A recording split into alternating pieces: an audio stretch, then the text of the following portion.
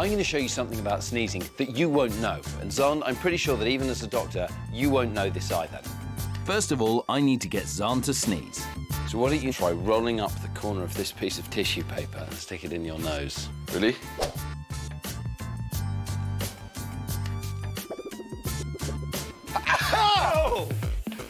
Xand, cover your mouth. Oh, I'm covered in spit. So what happened there? I put something up my nose and my body just blew it out because it didn't like it. How does it clear your nose? Right, you, like you sort of go like that and just blow everything out your nose. That's what you think happens? Yeah. This is really good. So even doctors honestly think this happens when you sneeze, and that is completely wrong. So you don't blow anything out your nose when you sneeze. Everything comes out your mouth. And we can prove it to you if you look at this video of me sneezing. Okay, here we go. I'm going. I'm going. I've gone. That's all saliva that was in my mouth, but nothing is coming out of my nose. It's only after I sneeze that my body will create mucus to flush out whatever irritated my nose in the first place. And that's when snot will come out of my nostrils.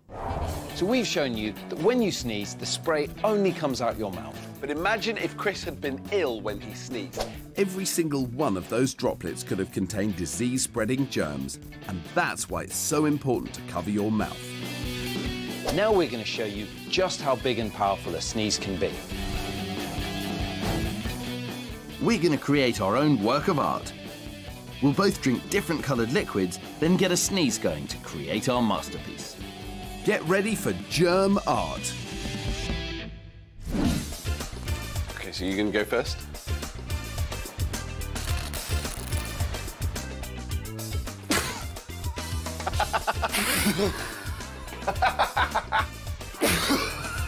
That's really good.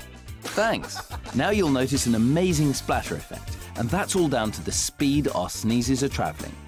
100 kilometres an hour to be precise. And remember, if we were ill, that would all be germs. I really like what you've done there, though. You've really um, Draw drawn the nose right.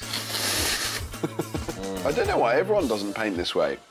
Now, with all this sneezing, look what started to happen. Yep, snot. And that's the mucus our bodies have created to flush out what was making us sneeze. I hope we painted for you a clear picture of why it's so important to cover your mouth when you sneeze. Use a tissue or do it into your elbow.